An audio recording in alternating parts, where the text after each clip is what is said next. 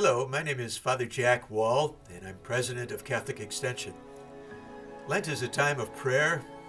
fasting, and almsgiving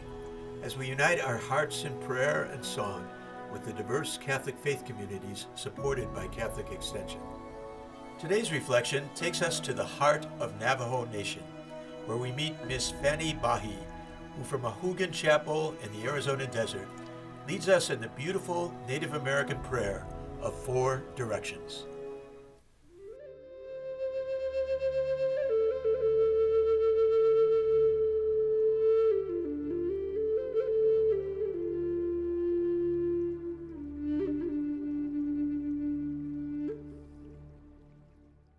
Кодэ хожон дурлалгууд ахаати дигиндэнэ дахноллон дэ кодэ яат аа эн хинцэ кэсто аа дурлаа эн oho ahi belas ani hollo ado kojugo shada ahtugo nana kode e nihitenne yat eho kehat indolil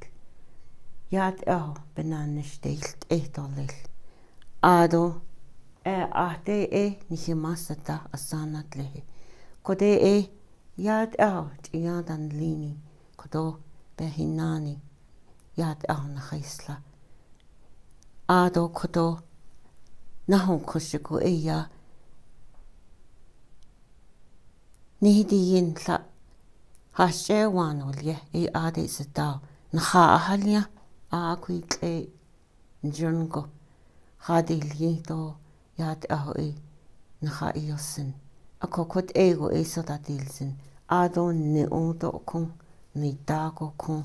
яат эхнаха ахот и аадо кото я ааштэй аадэй дон хитха холло ээ дон хинкэтэс и акокут эгон хиннаат аалсго хужунго кэхвит инолэл хужунго тэнэн лини яат аа ахилнаалны штоллиг ээ ээ сипни я сохотсэн гот эгосодатлсэн хидини хитха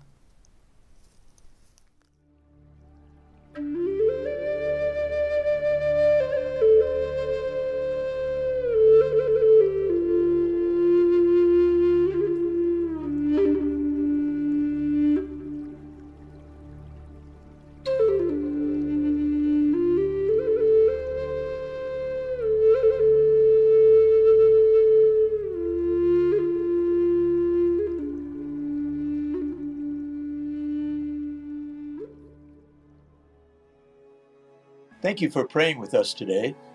If you are so moved, you can offer Lenten alms in solidarity with poor Catholic faith communities by donating to Catholic Extension at catholicextension.org slash prayer.